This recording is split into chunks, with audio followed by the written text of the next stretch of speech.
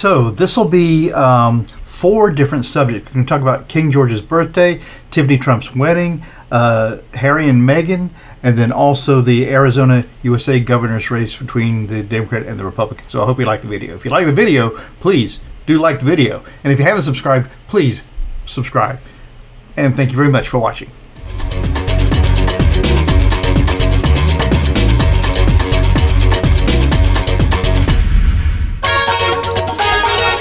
I'm Mark, and this is my journey through tarot. Come on.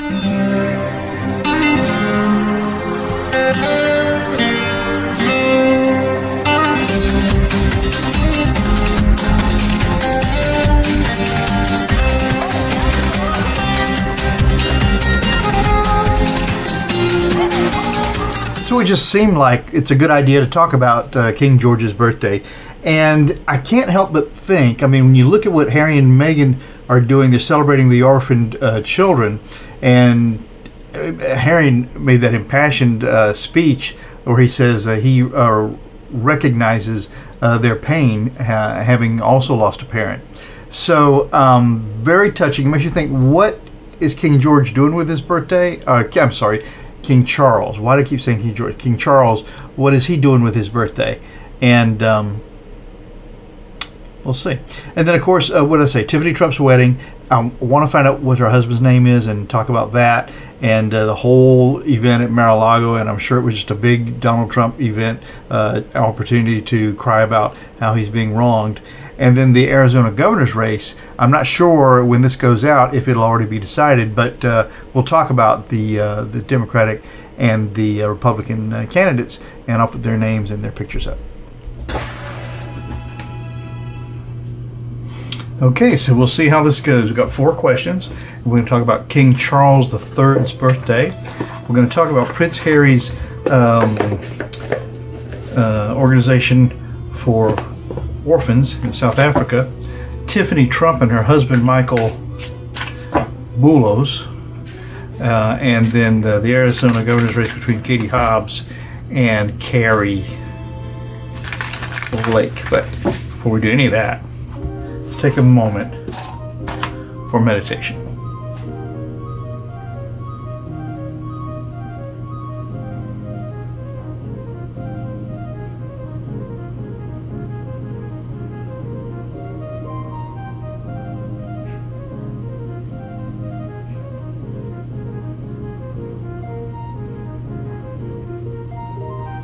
Okay. King Charles' birthday. Um, what are we to think of that? So, what are we to think of of this? That there should be some sort of a celebration of his birth. I guess this is exactly what uh, the Queen would want us to do to recognize the change of guard and to get on with things. Um, it seems soon to have a little celebration, and maybe they're really not having that much of a celebration at all. Anyway, it's all seems to be very uh, military uh, driven. Three cards for King Charles's birthday to see uh, what direction the cards are going to take us into. What do we need to know? What can the cards tell us in three cards about King Charles III's birthday? Ah, so a tower moment. So um, this is the tower is not good. It's it's a disaster. The next card up is justice, finding a balance, and then the last card up is the Nine of Wands, which is uh, kind of being embattled. Your plans kind of being challenged, but this person looks very confident in that. So I think if we put these in the order that they were drawn, makes a little more sense. So King Charles's birthday, yeah, it comes on the heels of that disaster, his mother being gone. Uh, and it's kind of in the past position. And where, where we are right now is trying to find that balance, find the justice uh, in uh, in understanding who he is and what he has to do, and uh, and in the future, just knowing that he's got a lot to deal with. These these challenges are, but but he is looking confident towards that. So this birthday for King Charles is kind of a marker. Uh, it's saying, okay, this happened. Mom is gone now I'm trying to find this balance, and I understand that it's going to be a, you know, a struggle. Will, these three cards, will he be loved. One, two, three. I think he already is. See what the cards say to that. King Charles. Loved. Two of Pentacles. There's a, a, a still a certain amount of uh, getting that value balance just right. And the Knight of Pentacles, it puts him in the position of the one that uh, has to do that. And the Queen of Cups is tons of uh, queenly compassion uh, for the situation. So I think he will. He will find the balance. Now for Prince Harry and this Prince Seeiso, I suppose that's how that's pronounced, S-E-E-I-S-O, uh, regarding the South African orphans of Lesotho and Botswana.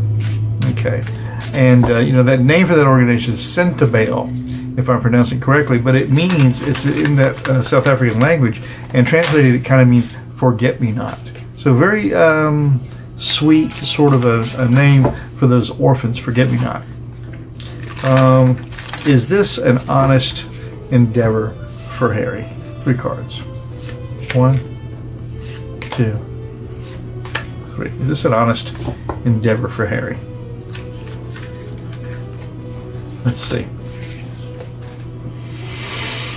Yeah, you know, remembering the past. And that's where he is. He's identifying with these kids. He's remembering having lost uh, his parent. And, uh, and again, just like Charles, finding the balance in that value. And, um, and the chariot is moving things on uh, at a rapid pace. He wants to get this the, the, the good stuff going on. So yeah, this is this is legitimate. Okay, so it's a, a, a recalling of the past. Okay, it's finding that balance and moving things forward. It's some sort of a, of a clip. So he's in this for all the right reasons. And will this organization be uh, successful? One, two, Will this organization organization be a success? Ah, the Lover's cards. And this is the Major Arcana. So yeah, it's a good pairing. Oh, I love when the cards repeat. Getting that value just right. And the Four of Pentacles is really uh, wanting to hold on to your value, keep it close to your heart. And so, yeah, I think it will be. It's going to be something that's going to be nurtured. Uh, it's uh, born out of a true out of true feelings, and uh, there is a work going on to find the right balance to to make sure it all works good. So yeah, it's all honest and good and moving in the right direction. Now, uh, having said that, honest and good, moving in the right direction, let's talk about Tiffany Trump and her new husband, Michael Boulos. I suppose it's how it's pronounced. So, what can the cards tell us in just three cards to kind of get us going in the right direction about Tiffany Trump and her husband Michael Boulos. Okay, is this a real love match? One, two, three. I mean, he's marrying her amidst all this insanity. First card up. Five of Pentacles being left out in the cold. So yeah, she's she's putting herself in a position of uh, aside from the rest of that family, firmly. Wow, and the Nine of Swords is a it's a nightmare. The final card, the Ten of Wands, is it's a heavy load to carry. Wow. So none of this, and let's put them in the order they were pulled. None of this is going to be um, all that pleasant regarding the, the, her family ties. This marriage leaves puts her solidly out and cold from the family. I don't know that it's a bad thing. Um, and with this Nine of Swords, just tells you that negotiating that with, with her family, that's the nightmare of the whole thing. And then the Ten of Wands is letting us understand that this is a hard road uh, that she's on. Interesting. You would think that she married this rich guy and now her problems are over. Not necessarily.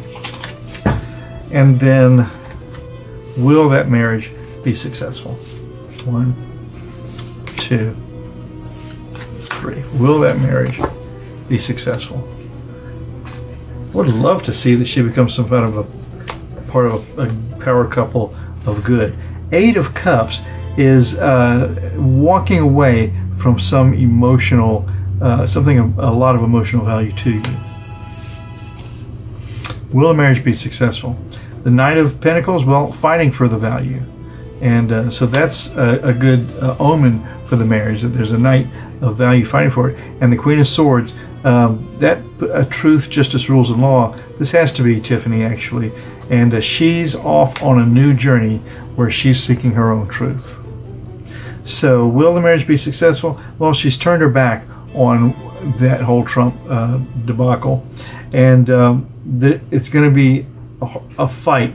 Uh, a, someone dedicated to making sure that value works, and uh, and she's going to redefine herself as the queen of her own truth.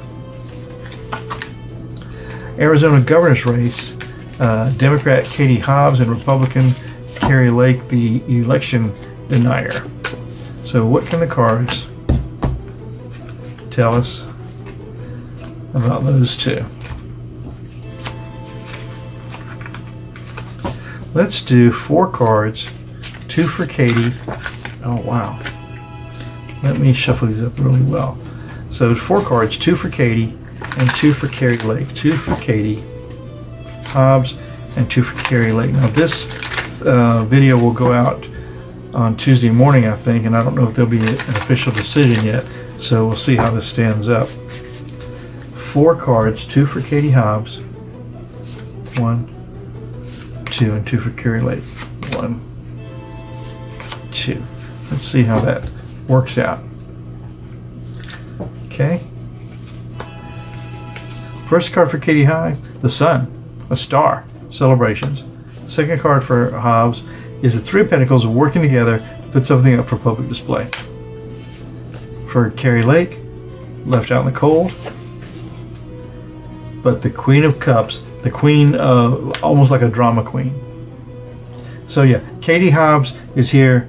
Uh, the, the sun is shining down on her, and she's ready to get to work. Okay, and uh, Kari Lake is left out in the cold, and uh, and an emotional wreck actually, or you know a big drama queen. So uh, she was going to cause a lot of noise around it, and she's going to get down to work. So that's all I got. There you go. Four topics today. I hope you enjoyed them. I'm still trying out this new camera situation and hoping that it's working well. And unfortunately, it's showing uh, me as I actually really look, which is uh, sad for you. So, but um, talk to you next time. Hey, I'm going to show you the cards now. Hang on. So, the Light Seers Tarot by Chris-Anne Wonderful cards. They're very beachy. They're very now. Uh, the container they come in is really nice. It has some nice thoughts inside. And um, the cards themselves and the guidebook, all of this is good. The, um, the guidebook, although it's not in color, it's readable and uh, it gives some good ideas as to how you might uh, interpret some of these cards. Of course, you know, the interpretation is very personal, so you have to decide if those inter interpretations entirely work for you. But they're based on the Rider-Waite system, and you can see that the art goes right to the edge of the cards. They're very colorful. They're very uh, they just speak to you right away. I mean, you just even if you didn't know what uh, uh, the symbols of the cards mean, I think anybody could look at some of these cards and think, oh, "Okay, this is what it means to me." Like I always say, I love to uh, have someone, if we're going to do a reading, kind of spread the cards out like this, and then they kind of get into the game. They start looking at the art, and their mind sort of kind of gets into the uh, into the mode of of let's get some truth out here. Let's get some some tarot reading done. So Light Seers Tarot, really really nice cards. Hey, I'm Mark. It's been my journey through tarot. I'm going to do it all again tomorrow if you want to come. So ciao for now.